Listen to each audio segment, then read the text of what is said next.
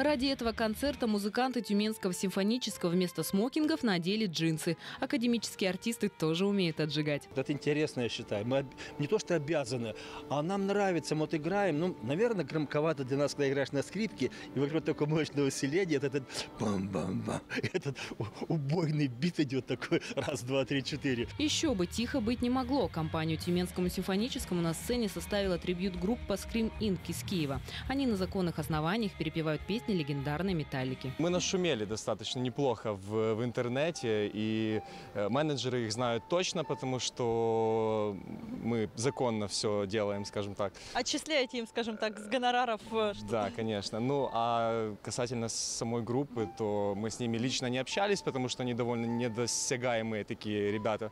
Но хотелось бы, конечно, пообщаться. Кстати, оригинальная группа «Металлика» с такой же программой играла вместе с симфоническим оркестром Сан-Франциско в 99-м. И такой синтез жанров уже не удивляет. Российский дирижер Юрий Башмет выступает с Дианой Арбениной. А у ее бывшей подруги группа даже называется «Сурганова и оркестр». И такие эксперименты мы будем продолжать. Вот в июне месяце а, будет следующий концерт, и оркестр будет, эм, с, выйдет на сцену с музыкой группы кино. Музыканты, конечно, они должны как-то быть более, так сказать, широкого кругозора.